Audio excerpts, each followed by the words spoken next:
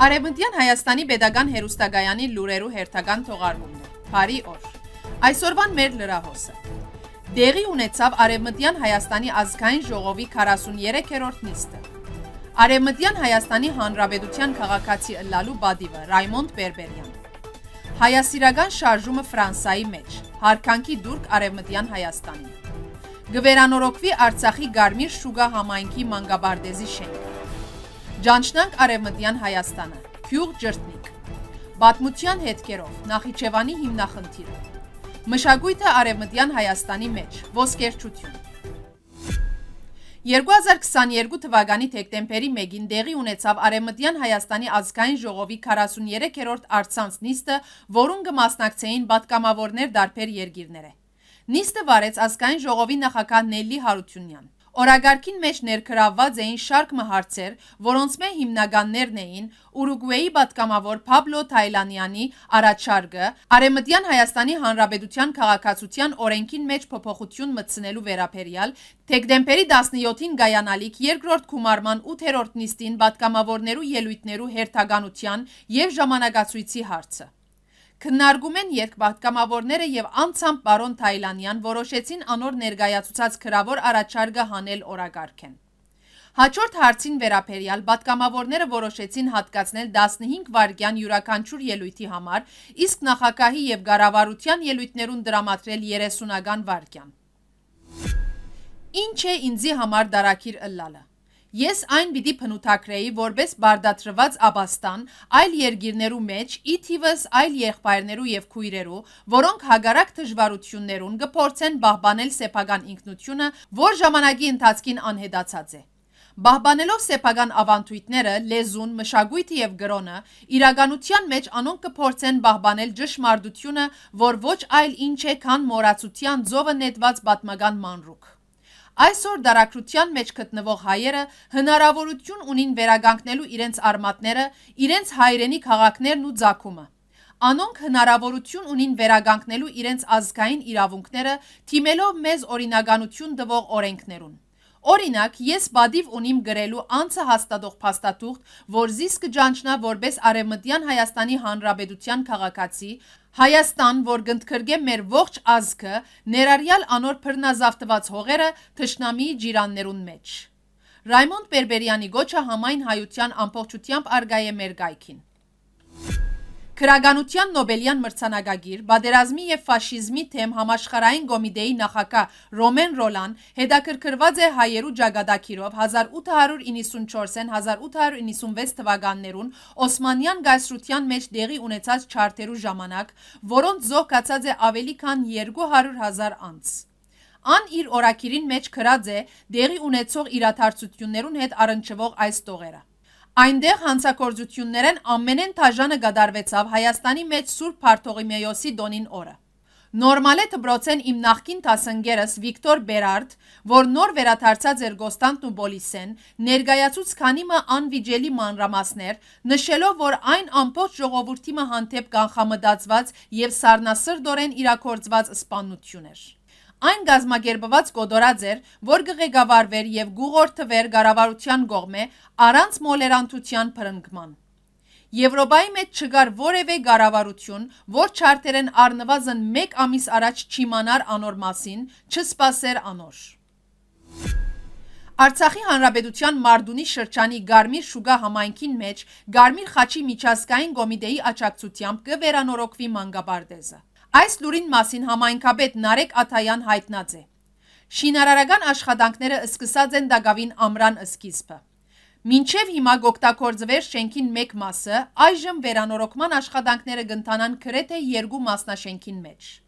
Վարպետները բավական արագ կգադարեն աշխատանքները։ Գգարձեմ, որ նոր դարիեն յետք վերանորոգում նավարդին պիտի հասցվի։ Ի վերջո պիտի ունենանք լավ պայմաններ, գետրոնացած չերուցում։ Վերանորոգման պատճառով մանգաբարդեզն իր կորձունեությունը գիրականացնե թբրոցի շենքին մեջ։ Արեմտյան Հայաստանը թրագան կքնահադե Արցախի մեջ իրականացվող շինարարական աշխատանքներու նման արագ ընթացքը, քանի որ յենթագարուցվածքներու զարգացումը պիտի հանգեցնե անոր, որ Արցախցին մնա եւ արարե իր հողին վրա։ Ջրտնիկ քյուղը կգտնվի Արեմտյան Հայաստանի Սասունի Փսանք խավարագին մեջ։ Ջրտնիգը գլխավորապես հայապնակ էր 50-ին 60 դուն հայ բնագիչով, սակայն ուներ նաև քանի մը դուն քյուրդ բնագիչներ, որոնք կաշխատեին հայերու դունը, գոգնեին անոնց անասնաբահությամբ եւ այլ գենցաղային կորձերով։ Քյուրի բնակչության հիմնական սպաղմունքը երկրակորձությունն ու անասնաբահությունն էր։ Ջրտնիկն ուներ Սուրբ Գևորգ անունով եկեղեցի։ Սուրբ Գևորգ հայտնի ուխտադեղի էր շրջանին մեջ, ուր հայերը բացի գայցելեին նաև դեղի քյուրդերը։ Քյուրի հայ բնակչությունը եւս անմասն չմնաց. 1894-ին 1896 թվականներու Սասունի գոդորածեն։ 1904 թվականի թրքական բռնադիրության խոշոր արշավանքը հայերուն թեմ ըստիբեց քյուրի հայ բնակչութենեն ոմանց լքել քյուրը եւ դեղափոխվել հարաբերականորեն ավելի խաղաղ պայմաններու մեջ ապրելու 1914 թվականին քյուրն արդեն ուներ 30 դուն 390 հայ բնակիչ 1915-16 թվականներուն քյուղն ավերված է, թալանված, իսկ անօգնական ձերերը, գիներն ու երեխաները թուրքերը գլեցնեն մարակները եւ գայրեն։ Միայն գոդորածեն փրկված փոքրատիվ հայեր գահաճողին վերահաստատվել ամայացած որոշ քյուղերու մեջ։ Այդտեղ հայերը մեգուսացած ապրեցան մինչև 1916 թվականի փետրվար, այնուհետև անոնք հաջողեցան տեղափոխվել ռուսական փանագին կողմե ազատագրված Մուշ, Ուրգեալ, Արևելյան Հայաստան, Սուրյո Հալեբ քաղաք եւ Կոստանդնուպոլիս։ Դագավին 19-րդ հարյուրամյակի 90-ական թվականներու սկիզբը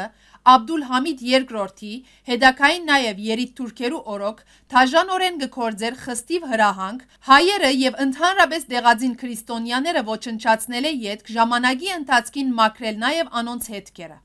Իսկ անոնք առաջին հերթին դաջարներն են, եկեղեցիները, բադմաջարդարաբեդական հուշարձանները։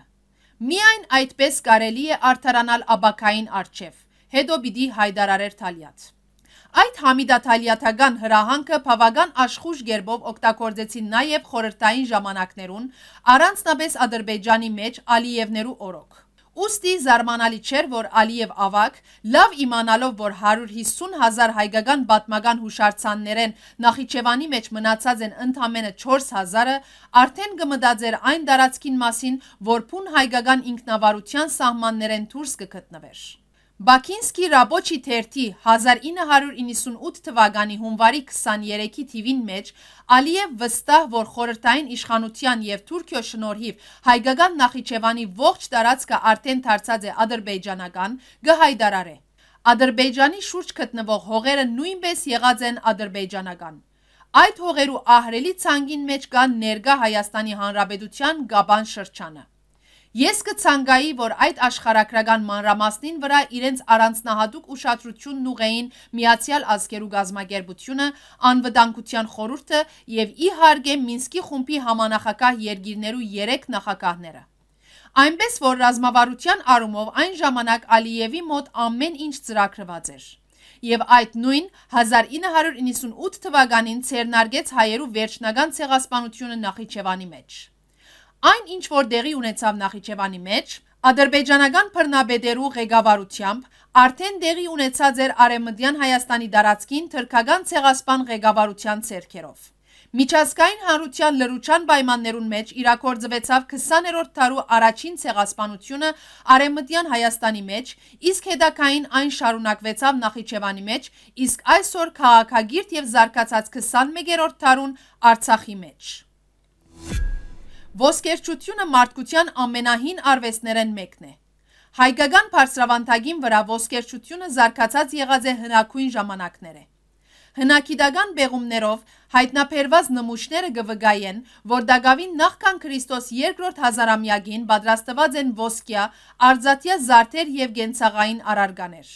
Հայ վարպետները դիրապետած են թրվակման, ցուլման, հյուսման, հատիկազարդման եւ այլ եղանակներուն։ Միջնադարյան Հայաստանի մեջ հայկական ոսկերչության արվեստի գետրոններն էին Թվինը, Անին, Գարսը, Գարինը, Վանը, Արտվինը, Արդահանը, Գոսնանտն ու Բոլիսը, Երզնգան, Երևանը, Ալեքսանդրապոլը, Շուշին եւ Ախլցխան։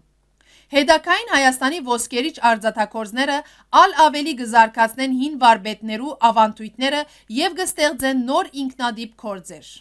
Անոնց լավագույն աշխատանքները ցուցադրված են համաշխարհային ցուցահանդեսներու մեջ արժանացած բարձր բարգևներու։ Այո, Արևմտյան Հայաստանի մեջ զարգացած եղած է նաև ոսկերչության արհեստը, անոր մասին գվգայի այն նյութական ժառանգությունը, որ ցեղասպանության դարիներում փնիկ հայ ժողովուրդը թողեց եւ դարակրվեցավ օդար երգիրներ, մազաբուրց ըլլալով յաթաղանեն։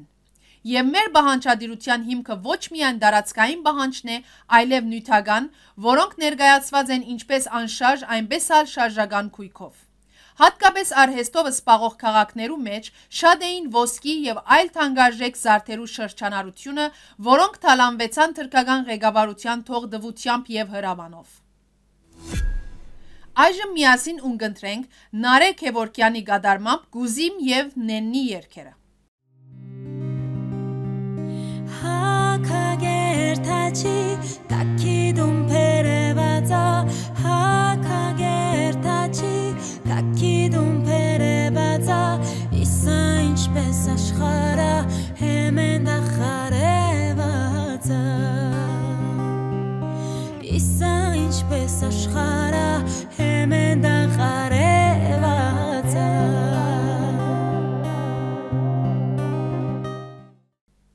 Այսքանն էր մեր այսօրվան լրահոսը։ Մինչ նոր հանդիպում մնացեք բարյավ։